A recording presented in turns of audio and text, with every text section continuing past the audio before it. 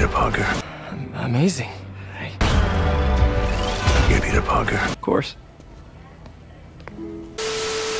I guess there's just some things the PS5 can't do. But regardless, welcome back true believers and all you spectacular Spidey fans to another very interesting Marvel Spider-Man related video. So in case you potentially missed this massive bombshell of a news drop coming directly from Insomniac Games, they did recently confirm that on December 10th, they will be including both of the brand new suits that we do see within Spider-Man No Way Home of the integrated suit as well as the black and gold suit, and will in fact be adding them into Marvel's Spider-Man Remastered exclusively on PlayStation 5 for absolutely free. However, the pretty huge downside of this update is the fact that these two suits from Spider-Man No Way Home are only going to be featured in the remastered version of Marvel's Spider-Man and not added onto the base Marvel Spider-Man experience on PlayStation 4. Which, to be blunt, is rather shocking considering that every other free suit update that has been featured for Marvel Spider-Man have always been incorporated as free DLC updates within the base Spider-Man PS4 game. And just to remind you as to which particular suits those included, this mainly ranges from the two major Fantastic Four costumes of the Bombastic Bagman and Future Foundation, the two primary outfits from the previous MCU Spider-Man film of Far From Home with the upgraded suit as well as the stealth suit, the obviously iconic Tobey Maguire Spider-Man costume, also known as the webbed suit, and most recently within this lineup of free costumes, we obviously got the three major outfits which were a part of Marvel's Spider-Man Remastered at first,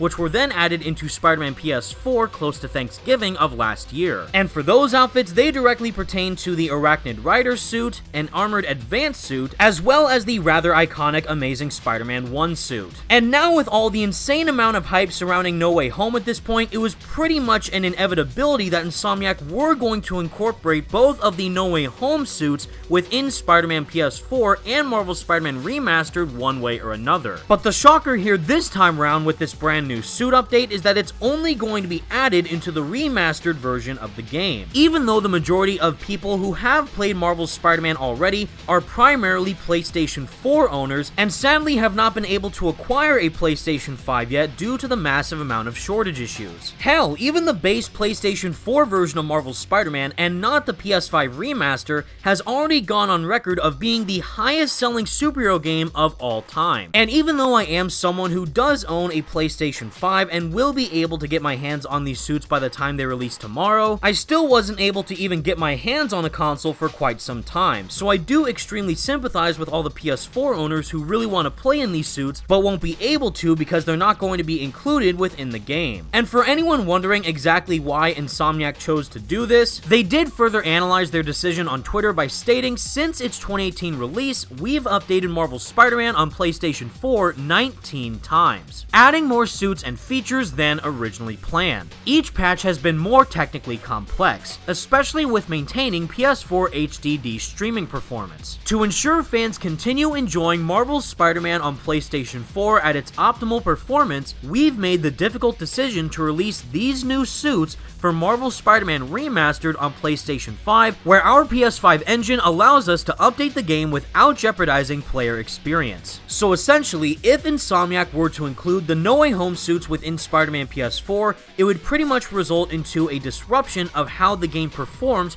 on base PS4 consoles. And to an extent, I do understand what they're talking about considering that Insomniac doesn't want to tweak anymore with the previous iteration of Marvel's Spider-Man on the quote-unquote last generation console of the PS4, and knowing that all of their upcoming properties like Marvel's Spider-Man 2, Marvel's Wolverine, and even that unknown multiplayer game they're working on are going to be PlayStation 5 exclusives, it does make sense that they want to prioritize the next-gen iteration of the current Marvel Spider-Man experience with the remaster. But on the flip side, it's simply adding two cosmetics within the base game that already has a total of over 40 suits. So if you are a major Spidey fan who is immensely hyped for No Way Home, this is surely going to be a bummer for you if you do not own a PlayStation 5 console. At least you do have all the previous MCU suits as well as the Amazing Spider-Man 1 suit and the Raimi suit to swing around in within the base Spider-Man PS4 game. And who knows, because even though Insomniac are saying that they will not be including the No Way Home suits within in Spider-Man PS4 as of right now, there's always the chance that they could incorporate the No Way Home suits within Spider-Man PS4 if the fan demand is high enough. But in the end, only time will tell. And with all that said, everyone, that's the video that I have for you today, and please let me know all your thoughts in the comments section down below. What do you think about the No Way Home costumes of the integrated suit and the black and gold suit only arriving on Marvel's Spider-Man Remastered on PlayStation 5